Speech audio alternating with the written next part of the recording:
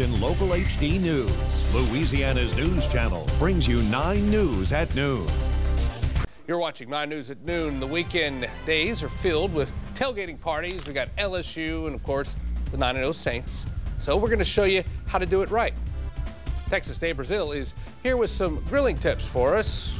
We're going to visit with them here in just a bit. I'm not sure they brought enough meat, though. We might need to check on that. All right.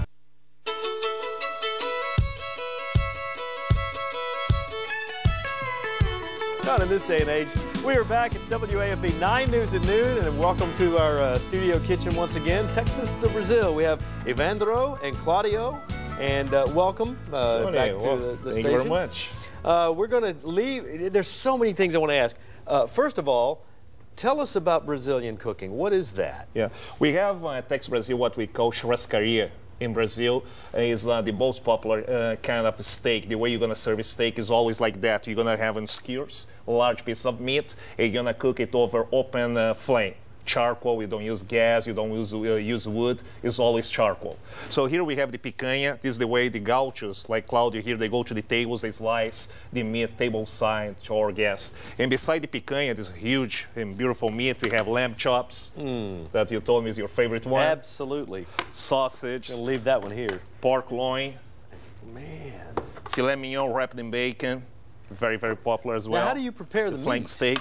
We at Tex Brazil use a very simple marinade for the chicken, pork, and uh, lamb. That's uh, olive oil, garlic, a lot of uh, green herbs like Mm-hmm. sage, oregano, rosemary. Well, I've been to the, the restaurant many times, uh, probably more than I should. I want to do some of this at the house. What can I? How can I do some marinades at the house and and try to emulate what you guys do a little Absolutely. bit? Is We're gonna, hard? Today, uh, it's possible. Okay, go ahead. Today we're going to do something a little bit different. We don't do exactly like that in Tex, uh, Tex Brazil, but something we can do. We are uh, coming to the season of uh, tailgating, grilling outside. Okay. That's always something very, very simple with a lot, a lot of flavor. So what you're going to need here, a little bit of soy sauce. Okay.